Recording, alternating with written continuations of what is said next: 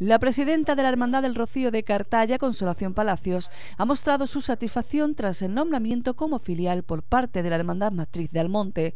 Por tanto, la familia rociera cartallera, cada vez más extensa, peregrinará este año a la aldea almonteña como filial.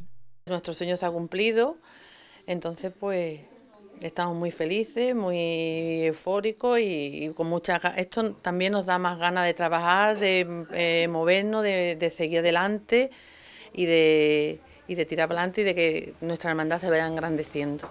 Por su lado, el vicepresidente de la Hermandad, José Ángel Palacios, explicó que la Hermandad seguirá peregrinando este año junto a la de Ayamonte, aunque se espera que desde este año todos los cartalleros que acudan a la romería lo hagan junto al Sin Pecado de Cartaya.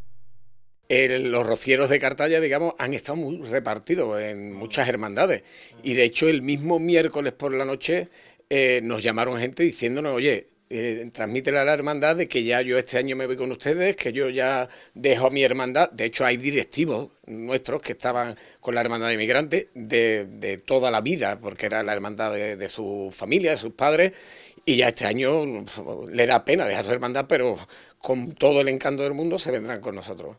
Los rocieros de Cartaya han ido en aumento en los últimos años, lo que pone de manifiesto que la Blanca Paloma se le profesa una notable devoción en dicha localidad. love.